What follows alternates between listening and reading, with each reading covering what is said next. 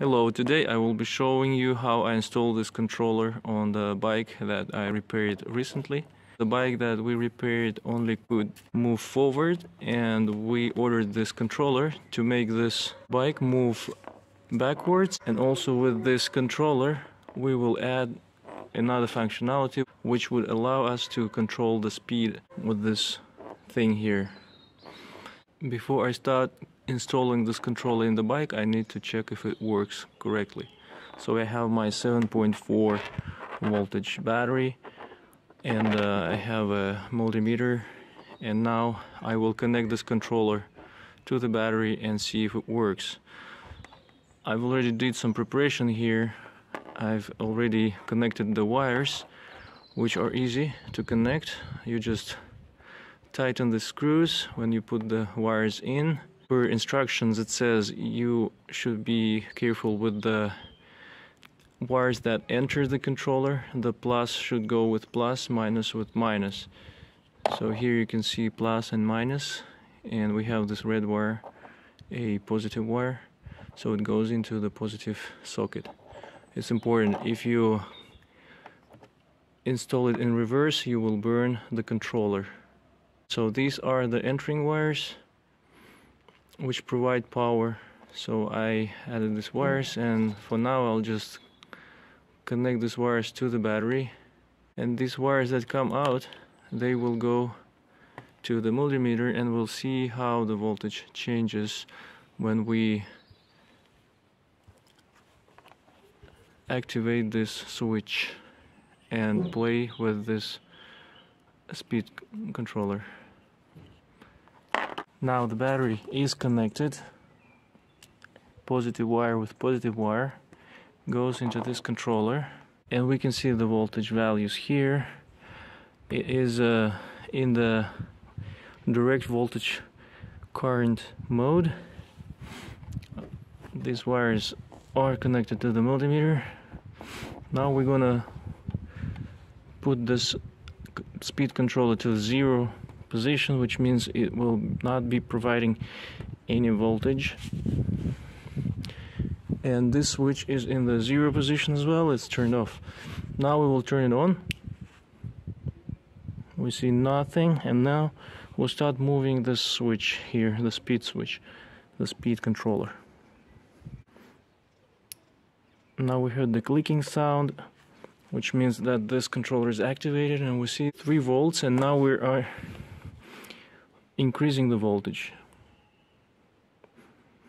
to the maximum point and we have 7 volts now. Now let's reverse the voltage. Turn it off. We have 0 voltage and then we turn it on on the reverse side and we get another value which is minus 7 voltage. You can see minus here which means now the voltage has been reversed. So this controller works. Now we can continue with installing this controller on the bike. As for the bike, I have a cap here, a decorative cap. My idea was to remove it and make a hole in it. I've already did some preparations. So I made a hole and I can see that I can pass the cables from here to here. And the next thing which I will have to do is just incorporate the controller between the bike's wiring and the battery. So if I have a battery here, the wires coming out from the battery and the wires coming into the bike, I'll just need this controller to reverse the voltage that will go into the bike and also change the intensity of the voltage and uh, that's it. So what I will need to do is just to make a few holes here to put the controller inside of here pass the wires in here and connect them. Let's see how it works. Now in this cap we've done all the necessary holes. This switch just pops in like this.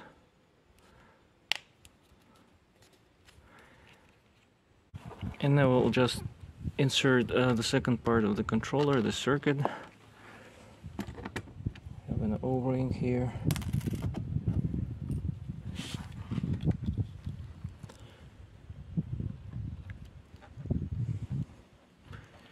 And it's fastened to the cap with a nut that comes with the controller.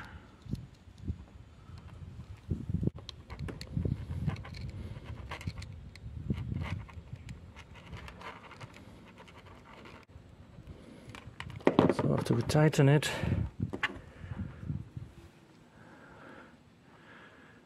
we put this thing on top and we get this controller on the cap.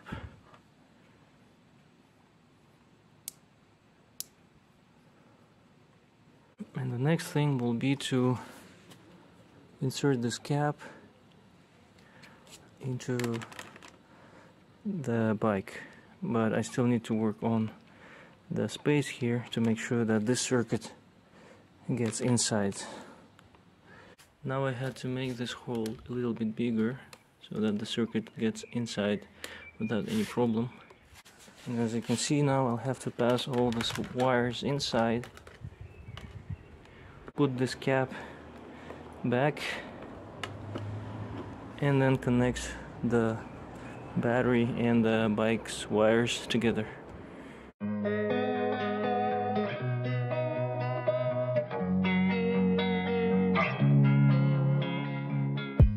Now I'm gonna use as usually spade connectors. I'll put them on the wires which will not require any soldering and after putting corresponding spade connectors on both sides we will start the bike and see if it works.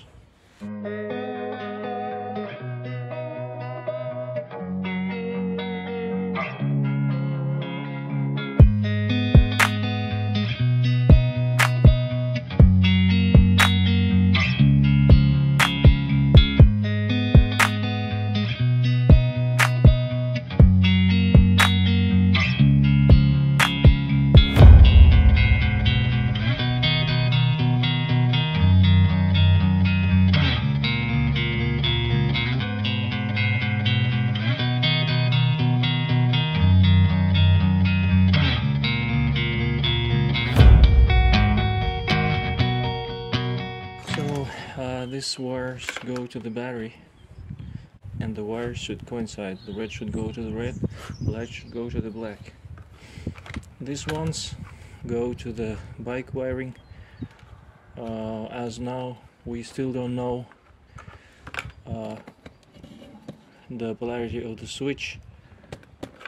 We may connect it now randomly and then may change the polarity depending on how this switch works. But we may not do anything but because it may not actually matter. Uh, it just depends on your preference. But anyways you can play with these wires no problem with this if you want to change the polarity of the switch. So this doesn't matter but this part matters a lot. Let's put the switch into neutral position zero position the circuit will be off and the, now let's connect the battery. The red wire should go with the red, red wire. And the black wire goes with the black wire. Now we have battery connected to this controller and this controller is now in charge of the circuit that goes to the bike. Now we'll check if the circuit works correctly. So let's turn on the switch in any direction. Now this switch is in off position. Let's turn it on. We hear the click sound. It's on on the lowest voltage. And now let's turn the handle nothing is happening and it should not be happening because the voltage is too low for the electrical motor to run. Now let's increase the voltage and eventually it should run.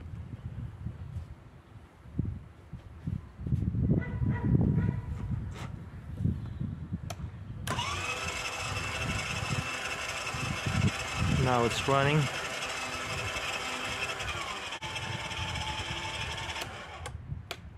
but it's not running in the opposite direction. Which means that there is a kind of a diode in the system that doesn't allow the current flow in a different direction.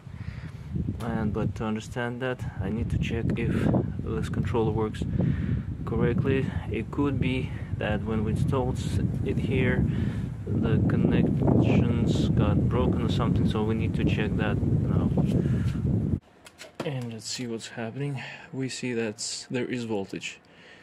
When we turn it off no voltage. And we turn it on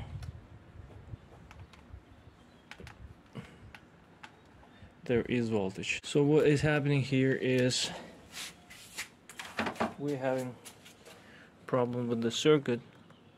It's a circuit that was in the bike from the very beginning I will check the circuit now see if there's any diode that doesn't let the current flow in two directions and if there is I'll try to remove it or just remove the whole circuit and uh, rewire this part. So after looking at the circuit and uh, checking if there are diodes on the circuit board, I saw one diode here and I tried to pass it by.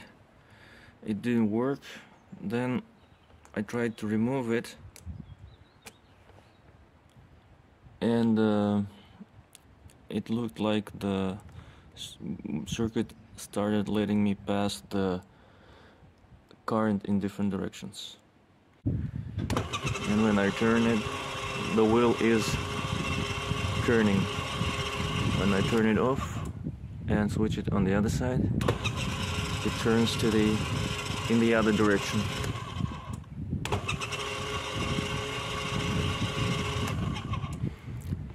But I've also noticed another thing that when I use this circuit board, the switch even if in off position stays on. And the way I notice that is that there is a light inside of the circuit board of the controller. And when you turn it off you still see the light on. So I will have to rewire this whole thing and remove the circuit from the from the wiring actually this thing is not necessary as I have this uh, controller which has all functions that I need. It provides me the functionality to reverse the voltage and to control the speed. This one I left not to do too much about wiring, but I will now show you what I'm gonna do to improve this wiring. I will just remove this unnecessary circuit, uh, the manufacturer's circuit, and the relay, which was important. This relay is controlled by the handle. And um, that's why I kept it in the beginning but now I need to rewire it to make sure that when the switch is off there's no voltage going to this from the battery. In order to do that we'll just disconnect the battery first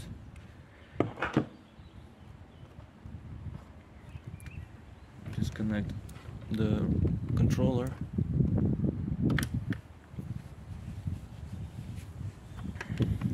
Disconnect the handle this handle controls these two wires which are in the middle. We know that from the previous videos. But first of all we'll keep that away and we'll just connect this controller to the battery and will control the bike with this controller to make it logically easier to understand. So we cut out this circuit from here.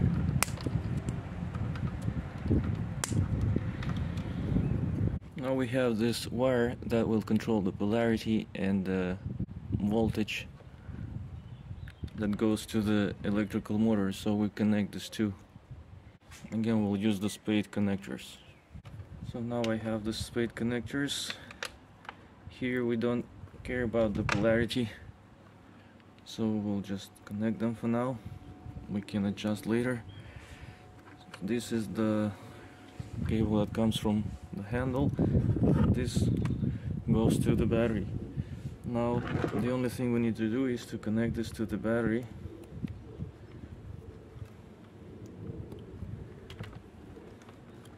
and check if it works.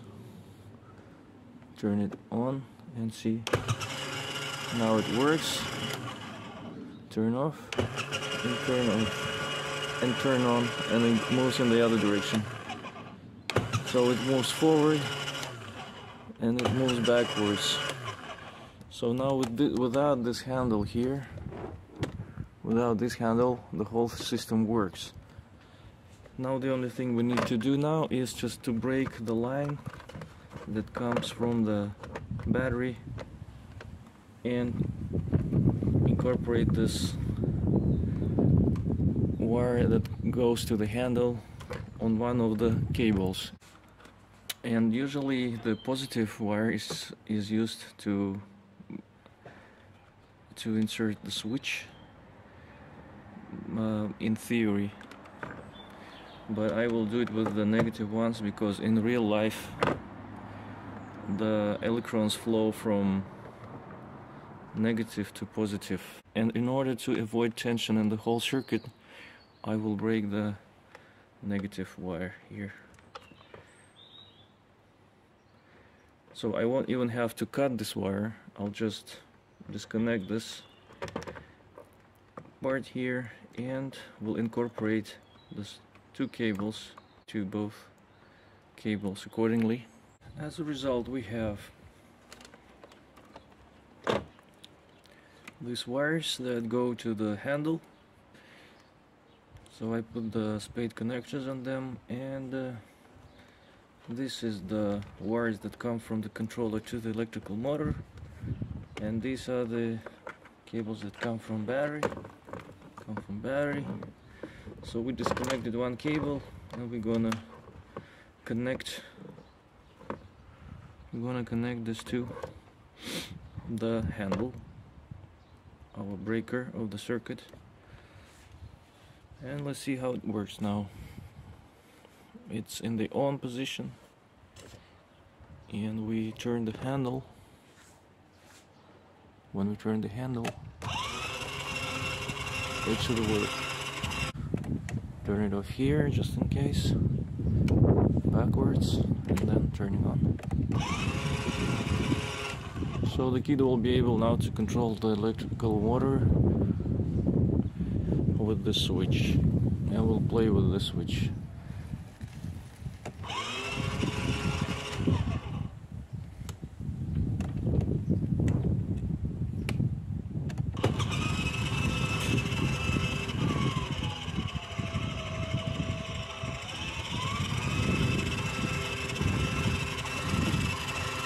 That's how we do it.